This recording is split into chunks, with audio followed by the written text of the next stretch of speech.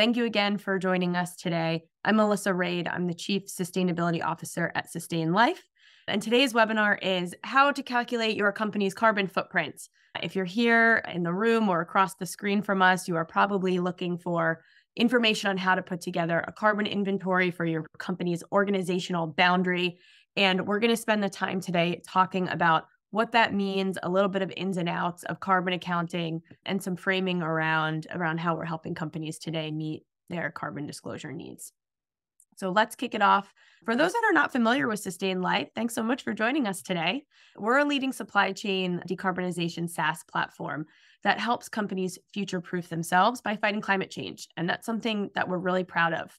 So, most of the time, the way that we're working with companies is helping them calculate their carbon footprint, set a science based target, and simplify climate disclosures. So, whether you're looking to report to CDP or do something aligned with TCFD or meet mandated regulated disclosure, that's a lot of who we're working with today, both those that are regulated themselves by these mandates, as well as those that are value chain companies and fall within the supply chains of these companies and are essentially being asked by their most important customers to disclose and allocate their emissions.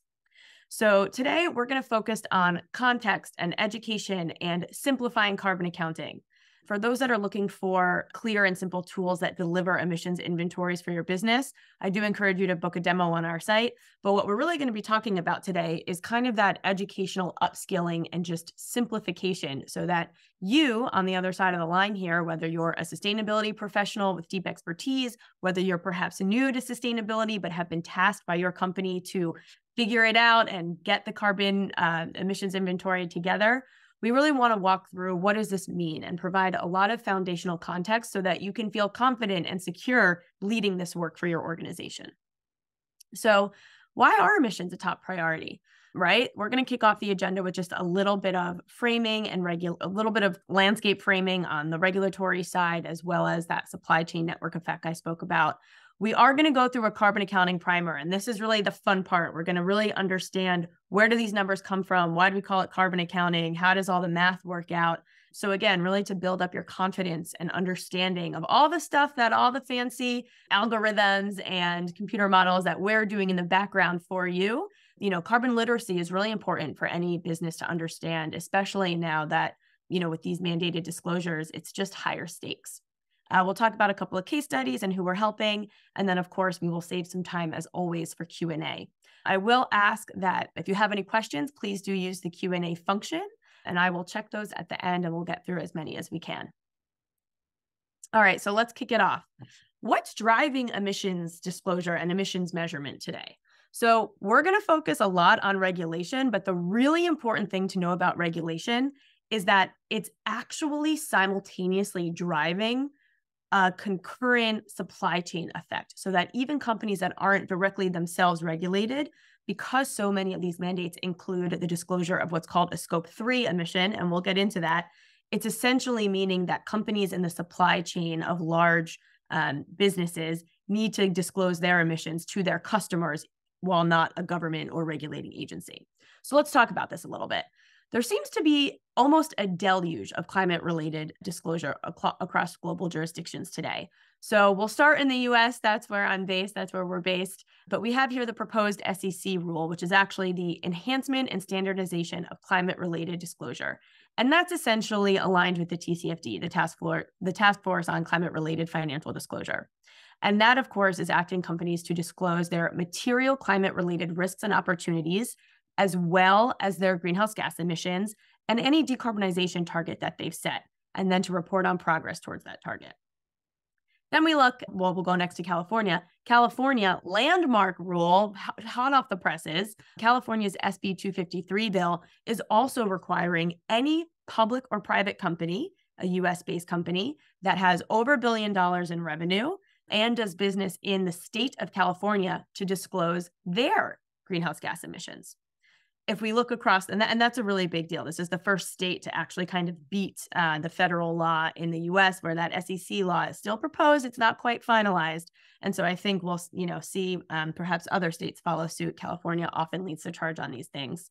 Um, if we look across the pond, we have the EU CSRD, which is officially adopted. Its reporting period starts in 2024. And that's actually a much broader requirement for sustainability reporting and disclosure across all ESG topics predicated on double materiality. And part of that includes, as one small part, of course, emissions. And then, of course, we have the ISSB or IFRS S2, which is not a mandate, but is a global framework that is meant to harmonize climate and broader sustainability disclosure. And that, of course, requires emissions disclosure. And so, without getting too caught up in the alphabet soup, not just the frameworks, but now actually the regulations and the laws, what's really important for us to see here at a high level is that the regulation is here. It often starts with large companies or publicly listed companies, but we're seeing it across global jurisdictions. And so these large enterprises are mandated to disclose their emissions across scopes one, two, and oftentimes three. And the inclusion of that scope three figure is what drives supply chain engagement. And so if you're a smaller or mid sized business where you're not public, you're not publicly listed, you're not a large enterprise with over a billion dollars in revenue. You actually could be facing very similar pressures to measure and disclose your own emissions, not to a regulator, but to your most important customers that are driving that decarbonization through their supply chain and require themselves to actually report on their scope three emissions, which of course is your emissions. So that's just a little bit of, of context on what's going on on the regulatory side and some of those supply chain private pressures. And so, where are companies today? You know, we included these three bullets here, and this is so many of the companies that we speak to. This is how they're feeling. They are very overwhelmed. This is a very nascent and quickly evolving space.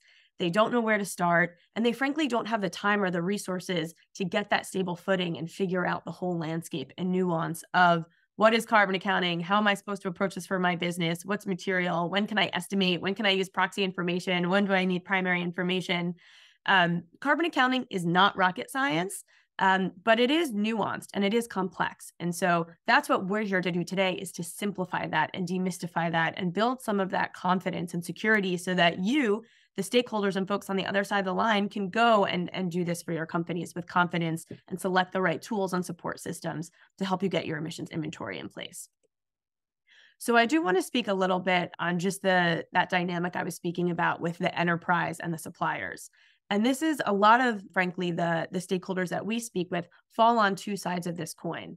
And so on the enterprise side, this is where you have those larger, often publicly listed, but not always, companies that are um, looking to disclose their emissions either because they're mandated to do so or because they have significant investor pressure and it's something that they've either been doing for some time and now need to really anchor and do in a more automated, grounded way with better data governance. And so some of the things that they're looking for is standardized data collection, those scope three emissions, and actual ability to decarbonize and bring those emissions down, engage with their suppliers, and help enable them to reduce their impact.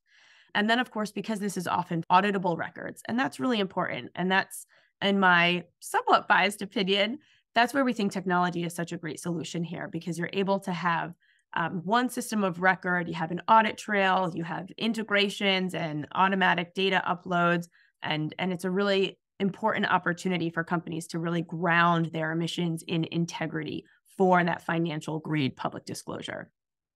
And so, what we're talking about on the enterprise side, it's often companies that are mature or sophisticated, or at least have sophisticated needs.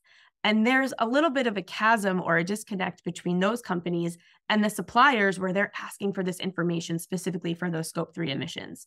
And so, on the supplier side, so often the companies that we speak to, they are looking for simplified measurement tools that take a lot of the technical confusion out of it and allow them to speak the language of their business. So, we'll talk a little bit about the greenhouse gas protocol. It is the gold standard of carbon accounting, it's the rule book that we all follow, and it's complex. And so, what we've done at Sustain Life and what a lot of mid market and SME companies most appreciate is really simplifying that guidance and that technical requirements into business activities that you understand, right? How much energy are you consuming? How much waste are you generating? What are you purchasing? We don't have to talk within the uh, greenhouse gas protocol categories and scopes, although we are going to talk about them a little bit today to kind of set that stage so so everyone can understand how they all connect to those business activities.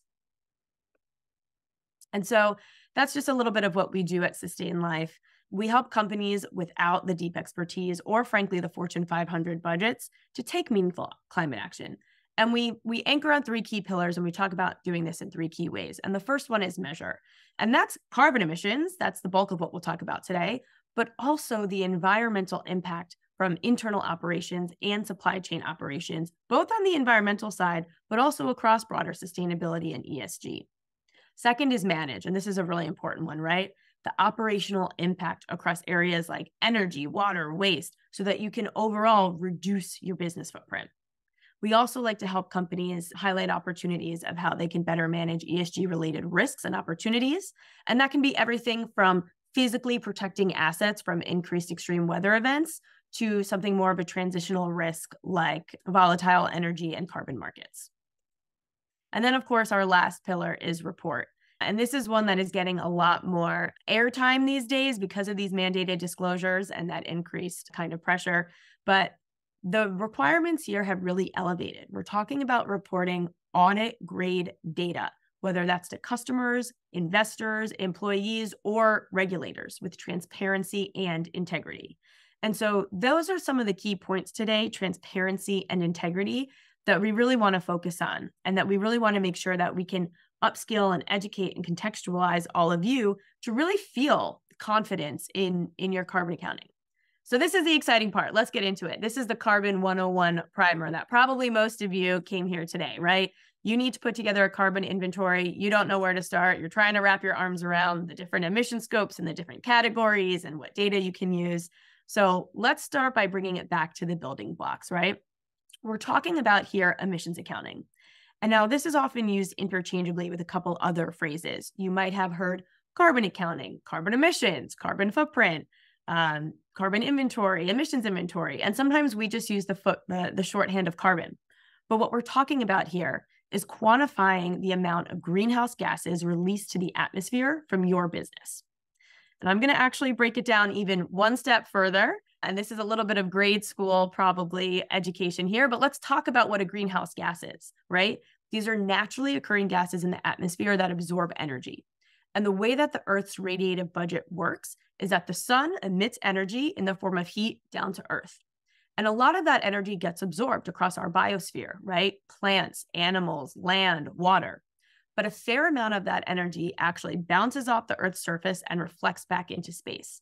And it's the greenhouse gases in the atmosphere that trap that energy and that reflected heat and act like an insulating blanket, keeping the earth warm and habitable. So, again, greenhouse gases are naturally occurring. They're what allow us to be habitable here on earth, but they've drastically increased in concentration since the Industrial Revolution, primarily through the combustion of fossil fuels. And so now that warming effect, that insulating blanket, it's actually getting a little too hot, right? And so with that comes disruption to the critical earth systems that we depend on in terms of how we circulate air or, or heat really through our atmospheric and hydraulic systems on the planet. And so when we think about global warming, we often think about carbon dioxide, right? And carbon. We're always talking about carbon. But that's in fact only one of the several greenhouse gases that exist. And let's just talk about some of these other gases that we have up here on the screen. So we have other greenhouse gases like nitrous oxide. And that's a gas that's released from agriculture, from land use and industrial activities, in addition to, of course, burning fossil fuels. We have methane, CH4. That's released from agriculture and livestock. We often think cows when we think of methane. Methane is also released from coal processing and landfills, as well, of course, the burning of fossil fuels. And then there's a whole nother class of gases called fluorinated gases. And that's what you see on the back half here. And what's important to know about these is these are man made gases. They're often used in industrial processes and refrigerants. They're kind of nasty. They have these very long chemical names like hydrofluorocarbons and perfluorocarbons. And what the emissions accounting process entails, the reason why we call it carbon accounting is because it means converting all of these different gases, the methane, the nitrous oxide, the fluorinated gases, to a common single unit of measure carbon dioxide equivalent, CO2e. And that's why we call it accounting because there's math involved in converting one gas into this CO2e metric so that we have one common unit of measure across which we can compare and talk about activities. So, of course, how do we do that, right? What is the math that converts greenhouse gases from its its initial gas into that CO2e? And that is all based on what is called global warming potential. And all global warming potential is, we call it GWP, is it's a measure of energy that is absorbed by a gas over time. And as a result, its insulating power. So let's walk through a quick example here. Methane, for example. Methane has a global warming potential of 28, which means that one metric ton, or really any unit of methane, but one metric ton of methane has an insulating power 28 times more powerful than that of carbon dioxide. Carbon dioxide is always the base gas. And so that over a 100 year period, one metric ton of methane is actually equal to 28 metric tons uh, of CO2e. And now the fluorinated gases that I spoke about, those refrigerants, they have global warming potentials in the thousands. So that's way more powerful, powerful than CO2. And so if methane and all these other gases have higher global warming potential than CO2, why are we always talking about CO2 and CO2e? Why is this the common building block of greenhouse gases? And that's because even though methane and all those other gases are actually more powerful insulators, they're also a lot less stable. So their molecular structure is such that they're out in the atmosphere, they're bouncing around with other molecules and atoms, and their chemical, their molecular structure actually changes and they decompose, they change. They're in the atmosphere for a much shorter period of time compared to CO2. Uh, and just to give you a sense of that, we're talking on the on the scale of something like decades versus centuries for CO2. And that's why it's all about CO2 in the end is because it's kind of like the bad habit that never goes away. Once it's in the atmosphere, it's there for a very very very long time and that insulating power, while maybe less intense than the methane and the other gases, has a longevity to it that overall makes it the most powerful and critical greenhouse gas.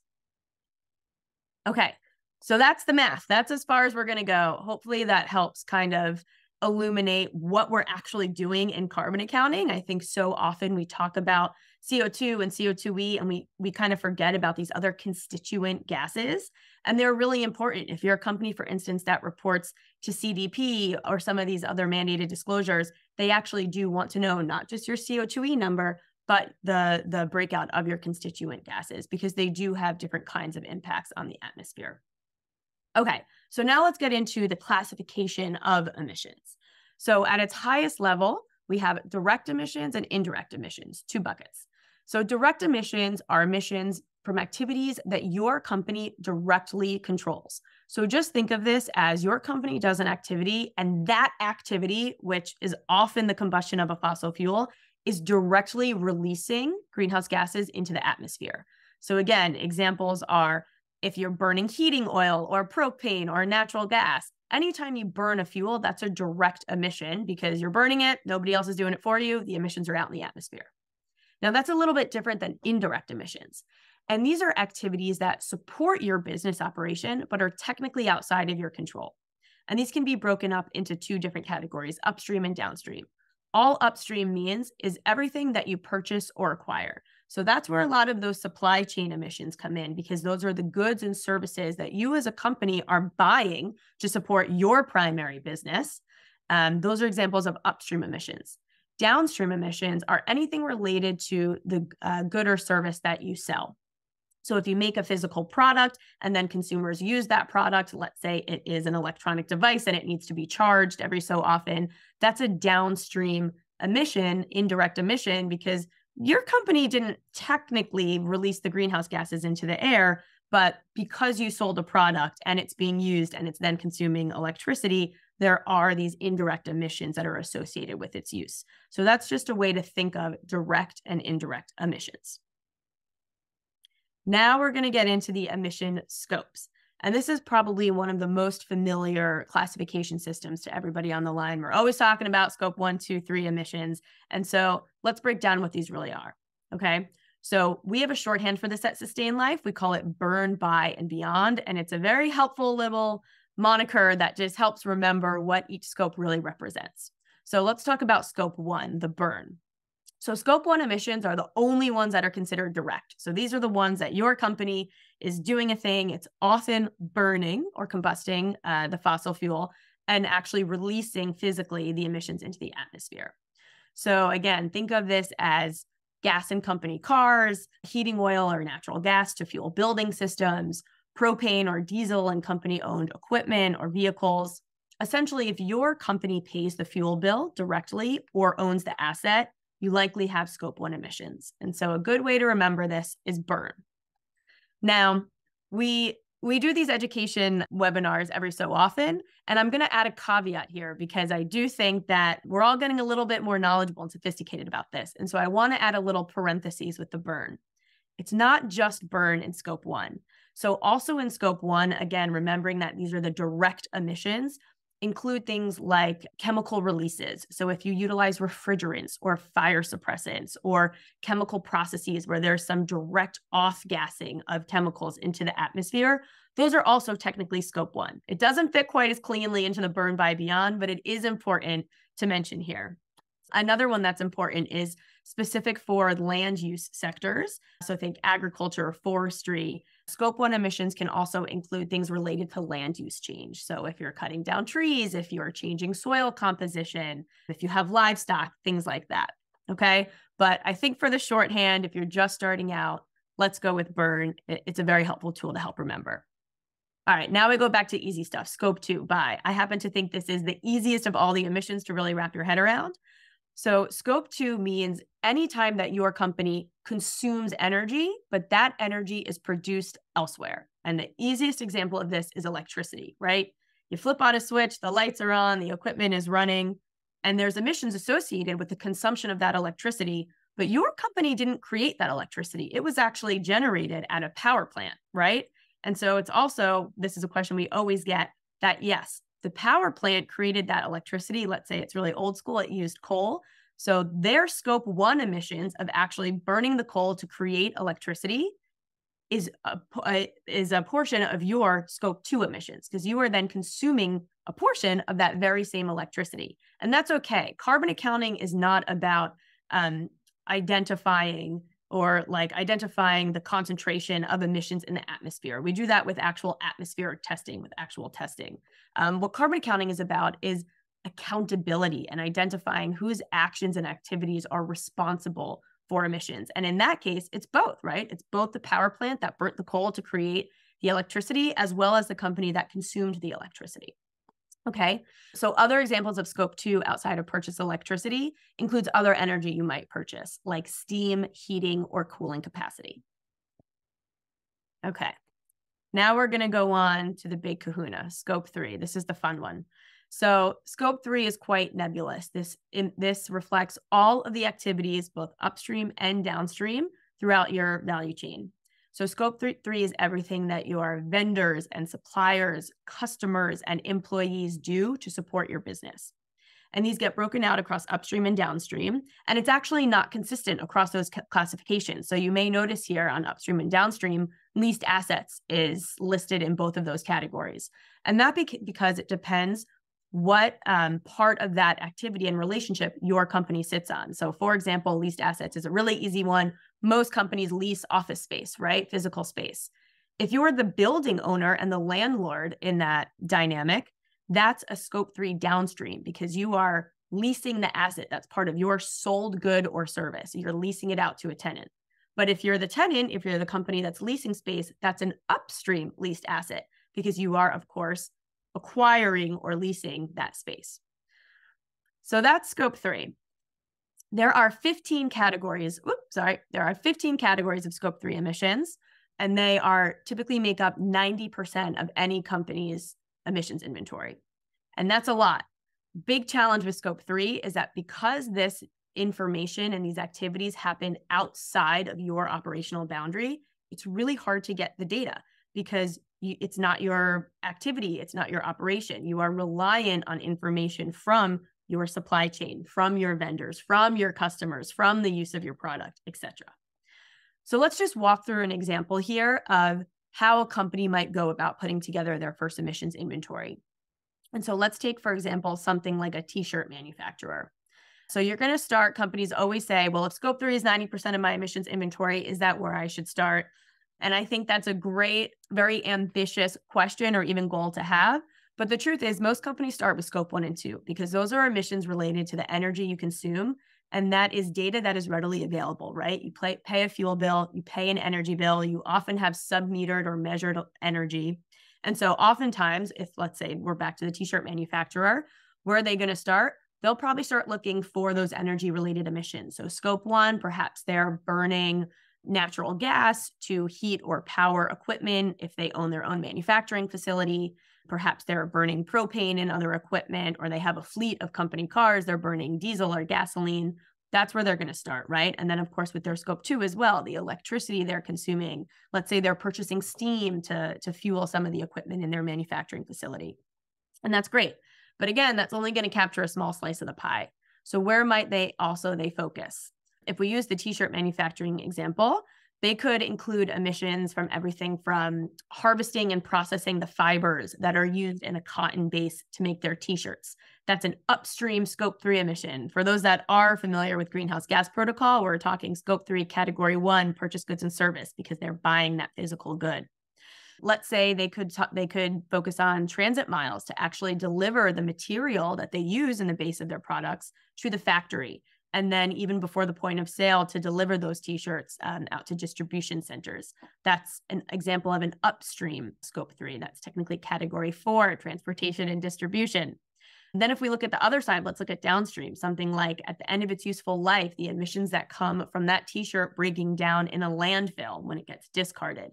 That's a downstream emission for those ghgp folks on the line scope 3 category 12 end of life treatment and so there's a whole framework. I've mentioned greenhouse gas protocol a couple times now that walks corporates through what these categories are, how to collect activity data for it.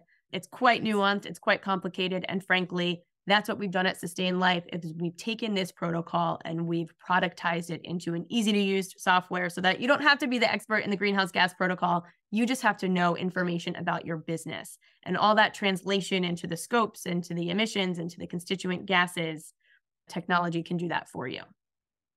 Okay. So, uh, one other thing I wanted to say is, especially when it comes to scope three, but in any emissions inventory, don't let perfect be the enemy of good when it comes to carbon accounting. You're not going to have all of the data, you know, and you're certainly in your first year, but even in your 10th year. And the goal in carbon accounting and in putting together emissions inventories is to balance completeness with accuracy. So you might be starting with estimates and refining those numbers to be more specific and accurate and reflective of your business and value chain for those scope three emissions.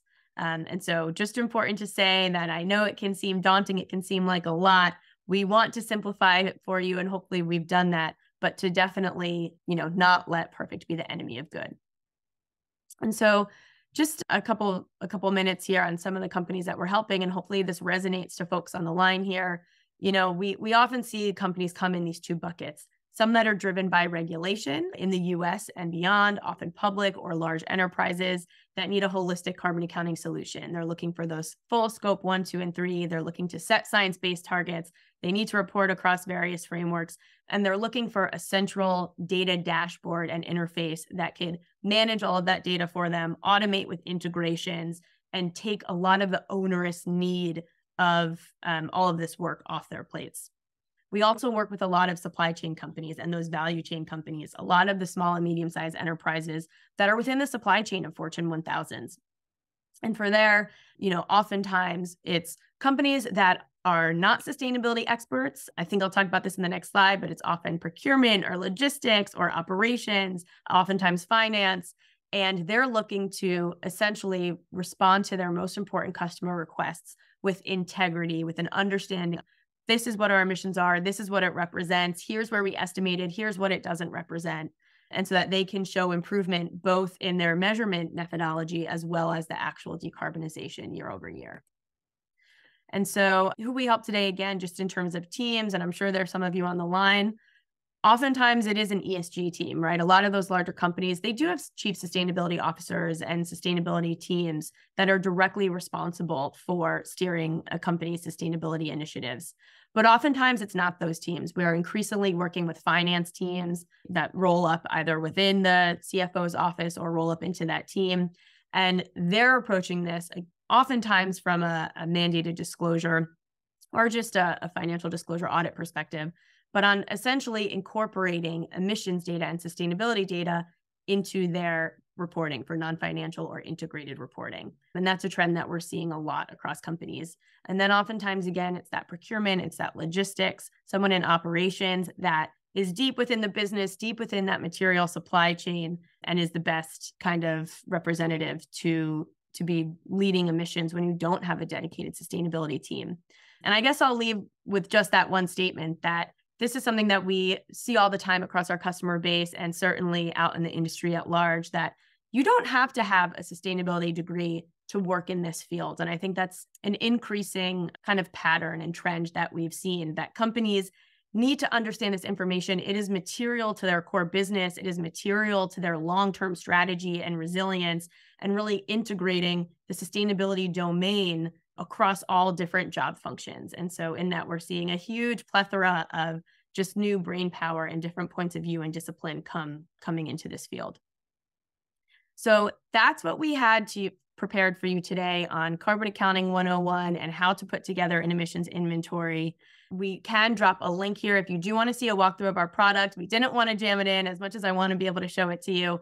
We can post a link here that is a guided walkthrough of the product so you can get a look and sense and feel and see a lot of the terms and kind of organizational structure that we talked about today. If you are a company that is looking to looking for technology solutions and support to put together an inventory, I encourage you to reach out to our sales team as well for a demo. That's sustain.life slash demo. Um, and now I think we actually have a solid amount of time for questions. So let me open up the Q&A function and I'll see what has come in here. And thank you all again for joining us. Okay, let's see.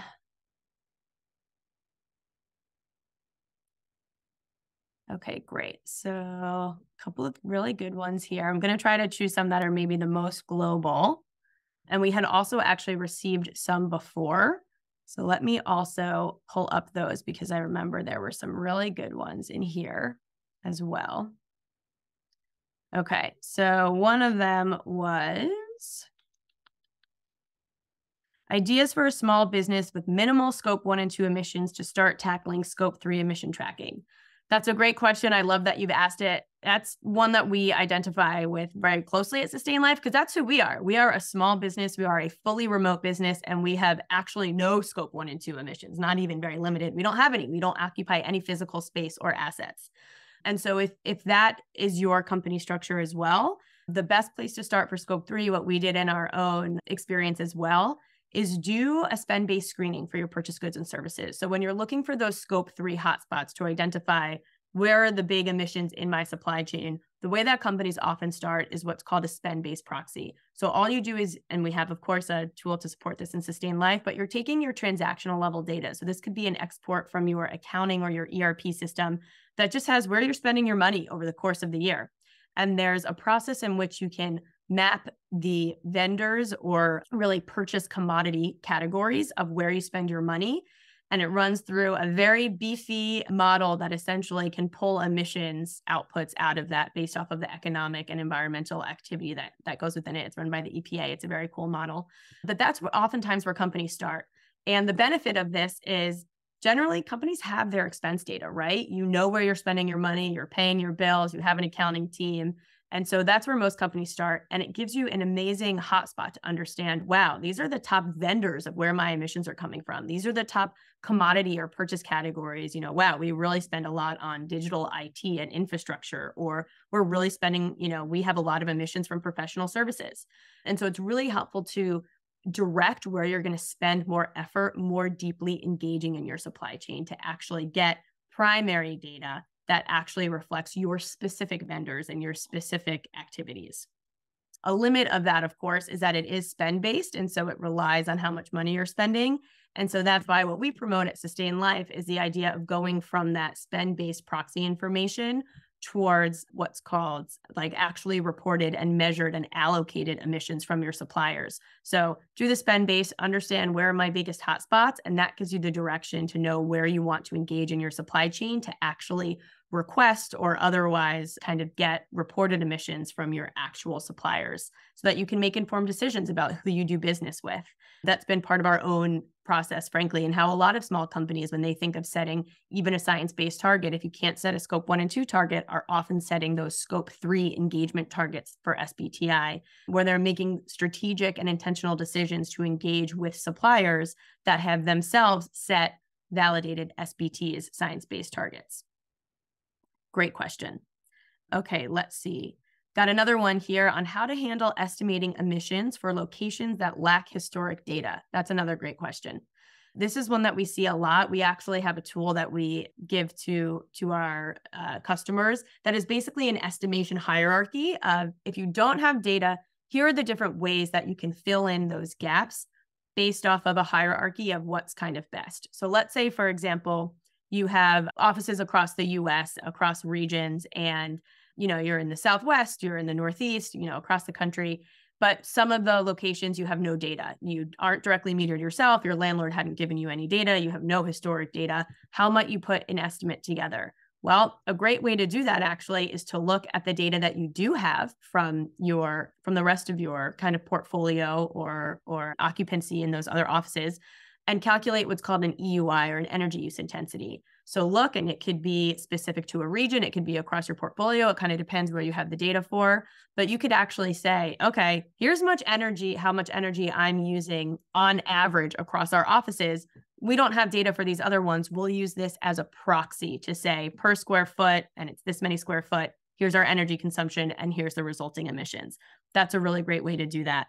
There is a whole hierarchy. You can also use industry average data. It's a little less specific to you. But again, let's say you don't have any of that other data to kind of fill in and inform a, a specific proxy there's industry average data sets that you can use out well. If you have more questions about that, definitely reach out to us. We have the tool. It's it's a really valuable one and it, it really helps with those kind of data filling and estimates. And again, that's what we were talking about in really balancing the need for completeness because you do want to report your emissions, but with the practicality and, and pragmatic ability to actually get real data, it's balancing completeness with precision.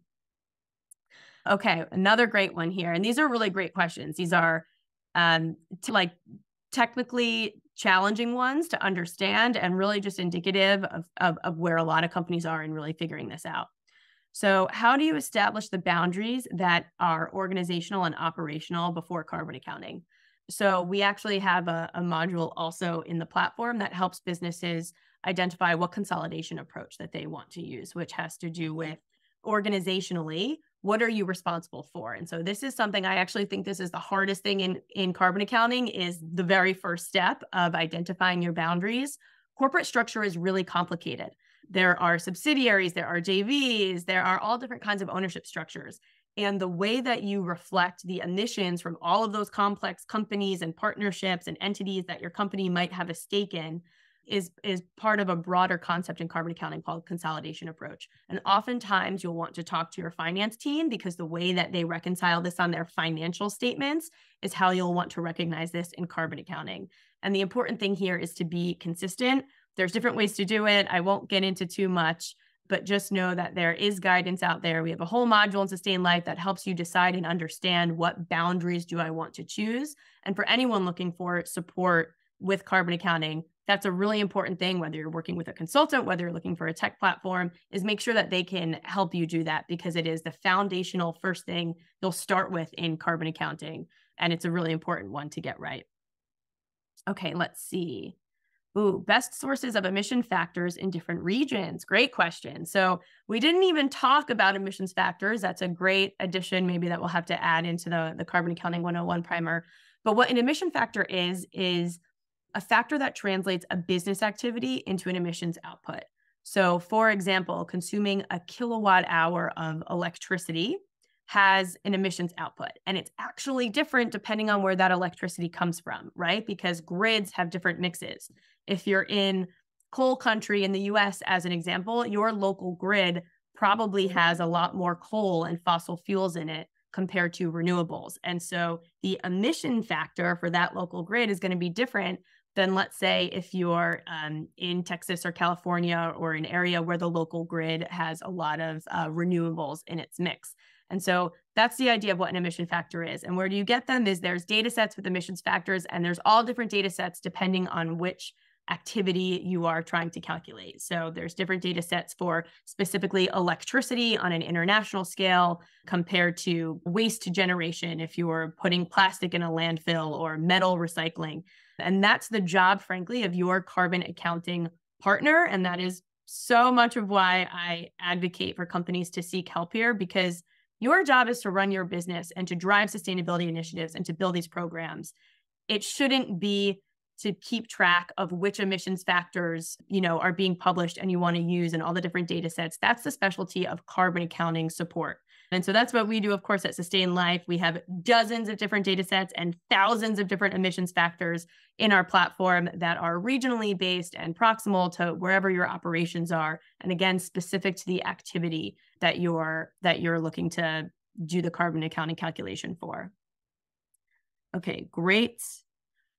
Let's see here. Let's see. I think we have time for one more. Really good questions. Actually, I think we got to a lot of these. Let me check some of these because I know we just have a couple minutes. Okay, do you foresee a future where companies of all sizes needing to attain the same standard of carbon accounting as a publicly traded company? Great question. This is maybe a subjective one, but yeah, I do. I think the writing is on the wall. I think that right now, so much of this regulation, and I'll say Europe is is leading in regulation and ambition. And so if you look to that as an indicator to the EU law, uh, the disclosure that's required under the CSRD, it's not for such large companies. You can be a pretty modestly small company. There's three criteria. I don't have it in front of me, but I think over 250 uh, employees, which is not a huge company, um, that is required to disclose. And so there's phased timelines. So, you know, the largest companies are being asked to disclose in 2025, and it kind of phases over time with smaller enterprises asked to disclose in 2028. But yes, I do see over time, every single company is going to need to understand their carbon data and their carbon impact the same way that they understand their financial data and their financial impact. And so, so yeah, I do think that that's coming. The regulation is there in some countries, you know, down to a certain size. And I do think that that's the future that we can expect to live in. Climate change is not just a problem of large companies. It's not just a problem large companies are going to experience. This is the new normal in ways that companies are expected to operate responsibly and resiliently, frankly, you know, to support our economy and and and all the activities therein. Let's see. Another question. We maybe time for one more. How accurate can organizations expect to get with their calculations if the majority of supply chain is not tracking their own footprint? Really, really, really great question.